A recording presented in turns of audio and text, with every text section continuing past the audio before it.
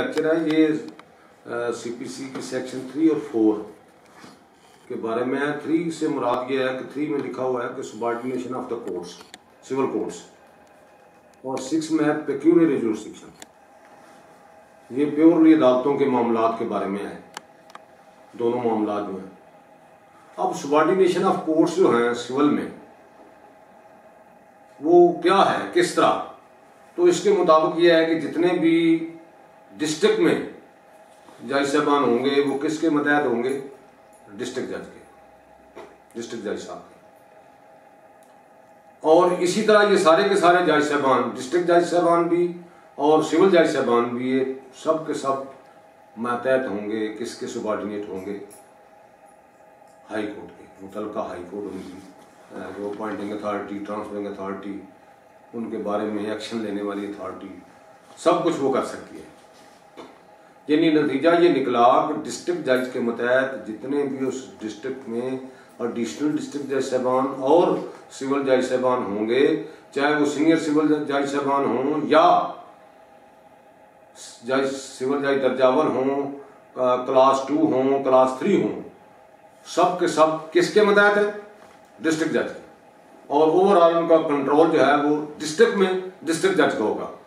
और ये सारे जाय साहबान चाहे वो डिस्ट्रिक्ट हो जज साहबान हों या सिविल जज साहबान हों, ये सब के सब मतहत होंगे हाई कोर्ट के। यानी हमारे यहाँ हाई कोर्ट के मतहत यानी लाहौर हाई कोर्ट के मतहत ज़िला गुजरावाला की जुडिशरी सारी की सारी उसकी मतहत है। और ज़िला गुजरावाला में जितने जज साहबान हैं, चाहे वो एडिशनल डिस्ट्रिक्ट जज साहबान हैं या वो सिविल जज साहबान हैं, वो डिस्ट्रिक्ट जज साहब के भी मतहत हैं।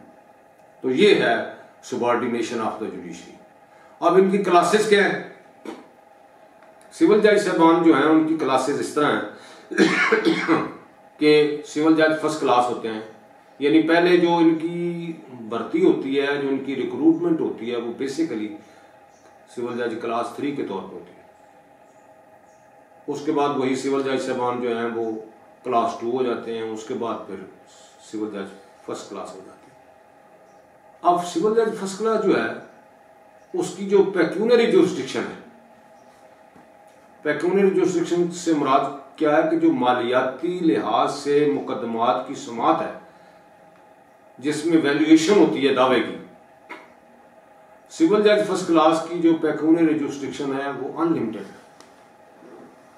यानी उस पर कोई कदगन नहीं है कि वो इतने मलियत का केस सुन सकता है या नहीं सुन सकते। लेकिन सिविल जज क्लास थ्री और क्लास टू जो हैं, वो हमेशा पैक्यूनरी जुस्ट्रिक्शन के ताबे होते और सिविल कोर्ट्स ऑर्डिनेंस 1962 जो डील करता है सिविल कोर्ट्स को, उनकी वर्किंग को जजेस की जो पैक्यूनरी जुस्ट्रिक्शन के बारे में उसमें बताया जाता है कि ये कितनी मलियत के दावे सुन सकते हैं।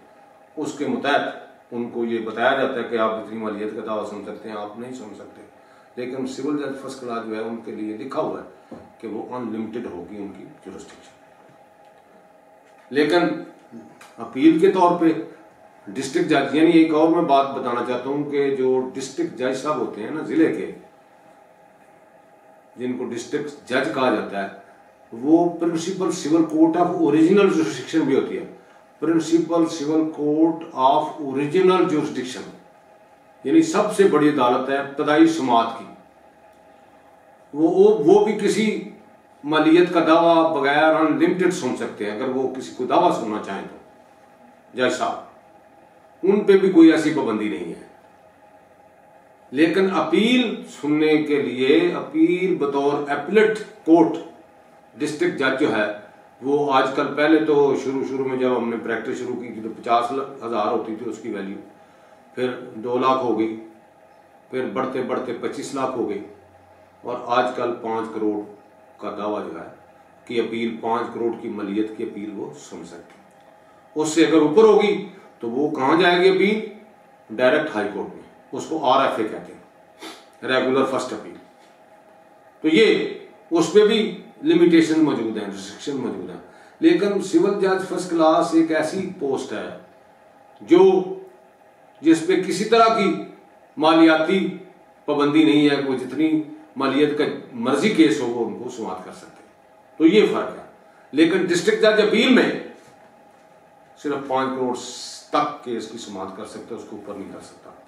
वो कहाँ जाएगी? ऊपर जाएगी हाई कोर्ट में। इसी तरह एडिशनल डिस्ट्रिक्ट जज की भी वही है।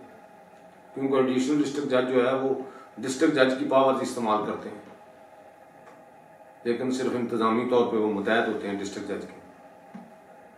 तो ये इसमें पेकूनरी जुरिस्टिक्शन का जो है और सुबार्डिनेशन ऑफ़ सिविल कोर्ट्स का जो मामला है वो इस तरह चलता है।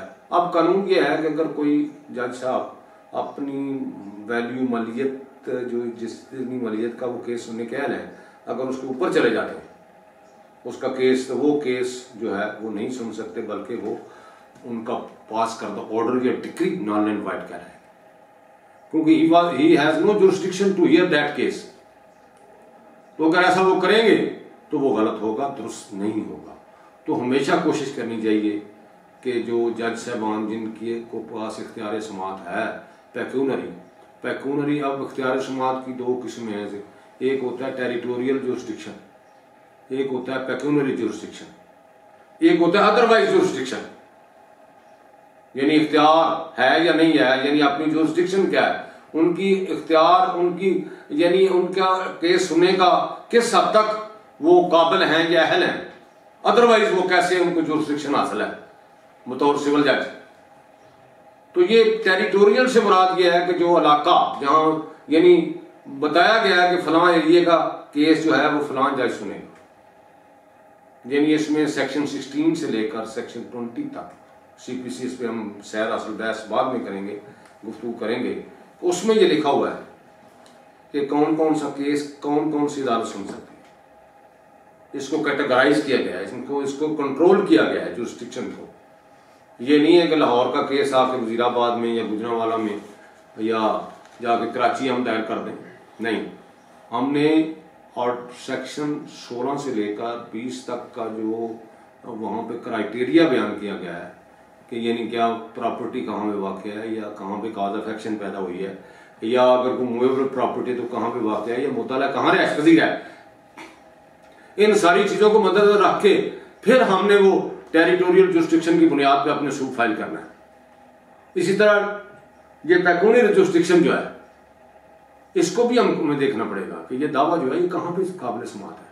क्या जिस जज के पास हम दायर कर रहे हैं whether he has jurisdiction to hear this case he got pecuniary jurisdiction for the adjudication of the case? तो ये सारी चीज़ें मद्देनजर रखना पड़ेगी। और ये पेक्यूनरी जुरिस्डिक्शन कहाँ से हमने देखनी है? या ये सारा मामला कहाँ पे हमने देखना है? वो civil courts West Pakistan civil courts ordinance 1962 जो है, वो डील करता है, उसमें लिखा हुआ है। कि जजेस की किस्में कितनी है? और इनकी पेक्यूनरी जुरिस्डिक्शन कितनी कितनी है? कहाँ पे केस समाप्त होगा? अगर गवर्नमेंट पार्टी है तो क्या तहसील लेवल पे केस समाप्त हो सकता है?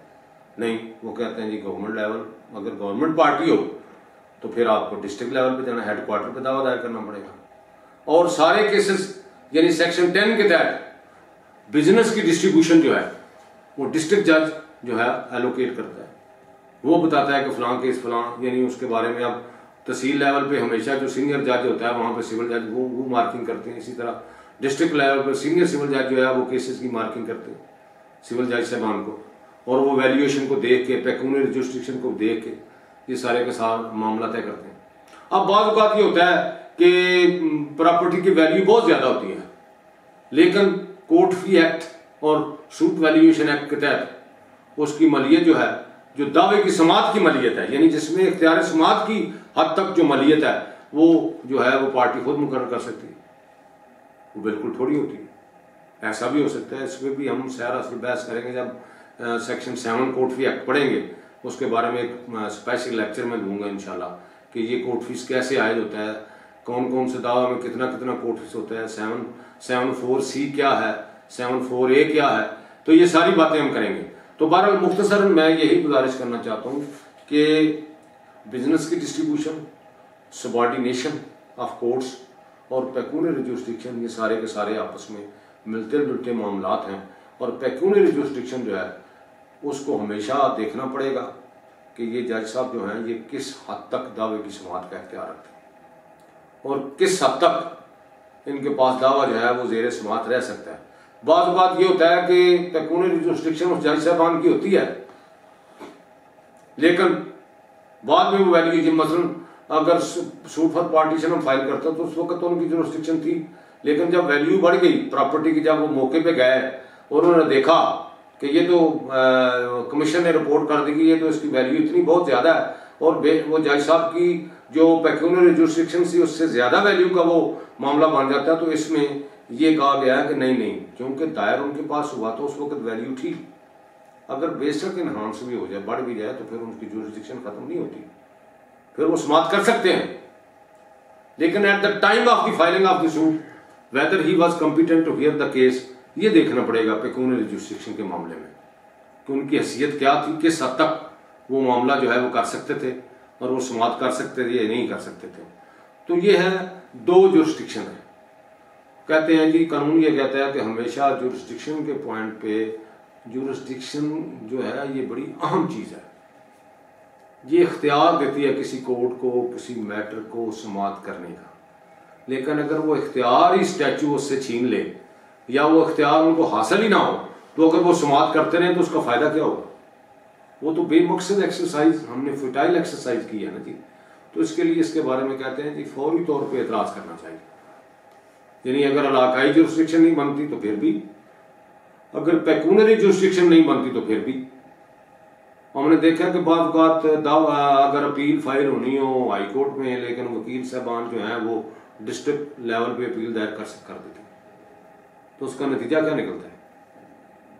वो अपील तो बाद में ऑर्डर सेवन रूल टेन के तहत वापस हो जाती है, या दावा कोई वैल्यू गलत लिख के या थोड़ी ज़्यादा वैल्यू को दावा किसी ऐसी अदालत में कर दे जिनको इख्तियार समात नहीं था। तो दावा तो प्लेन तो रिटर्न हो जाती है। To file before the proper forum वहाँ पे दायर हो सकती है, या अपील दायर हो जाती है, लेकिन बाद मामला जो है, वो टाइम बाढ़ हो जाता है। अपील की मिसाल ही ले लें कि अगर डिस्ट्रिक्ट जज को इख्तियार नहीं था, यानी अठारह करोड़ की अगर अपील हो तो स्पेसिफिक परफॉर्मेंस का दावा हो और वो अपील दायर कर दी जाए डिस्ट्रिक्ट जज साहब के पास, जिनके पास पाँच लाख का अख्तियार है। तो क्या होगा अब हाई कोर्ट में जाने की म्याद भी नब्बे दिन है। वो भी गुजर चुके हैं। अपील आपने इधर फ़ाइल कर दी। अब एक साल गुजर गया। अब क्या होगा? अपील टाइम बाद होगी हाई कोर्ट वाली। तो जब आप लेके जाएँगे, वो रिटर्न करेंगे आपको अपील, वहाँ मिमो आप फ़ाइल करेंगे, उसके बाद पहला जो मसला वहाँ पे उठेगा, वो क्या उठेगा? कि अपील टाइम बाढ़। आप सेक्शन 14 जो है, उसका हवाला देंगे कि जनाब मैंने ये प्रॉपर फोरम में इसलिए नहीं आया कि मुझे, मैं वहाँ उस फोरम में मैंने अपील दायर कर दी थी नीचे वाले में। तो वहाँ पे आपको अपनी मैला फाइड बोनाफाइड शो करना पड़ेगी। कि क्यों किया आपने? आपको पता नहीं था इसकी वैल्यू ज़्यादा है। तो फिर आपने क्यों नहीं दायर किया हाई कोर्ट में? तो इसका क्या जवाब देंगे आप तो क्या मिस्टेक ऑफ़ जो है ignorance of law no excuse आपको पता नहीं, आपने दायर करनी है कि कितनी वैल्यू है इसकी, कहाँ पे जाना है मैंने। तो फिर वहाँ पे आपका मामला इस लिहाज से भी खराब हो जा सकता है। हो सकता है कि आपने अपील टाइम बाद दायर की आपकी लिमिटेशन कंट्रोल नहीं होगी। तो इसलिए मैं ये गुजारिश करना चाहता हूँ कि पैक्यूनरी जुस्टिक्शन के बारे में हमेशा एहतियात से काम लेना चाहिए। और कोशिश करनी चाहिए कि उस कोर्ट में दावा या अपील दायर हो, जिसको इख्तियार समात हासिल है। इसी तरह टेरिटोरियल जुस्टिक्शन के मामला में भी आपको देखना पड़ेगा कि किस कोर्ट को इख्तियार समात हासिल है। कहाँ पे बनाया दावा पैदा हुई, कहाँ पे मुताला रहता है, कहाँ पे अशिया पड़ी हुई जिनके खिलाफ आप दावा दायर कर रहे हैं इमबल प्रॉपर्टी कहाँ भी वाक़ है। तो इन चीज़ों का लिहाज रखते हुए हमेशा आपको कोशिश करनी चाहिए कि आप जुरिस्टिक्शन के मामले में एहतियात से काम लें और अपना दावा या अपील उस कोर्ट में दायर करें जिसको इख्तियार समात हासिल हो। थैंक यू लो जी, ठीक।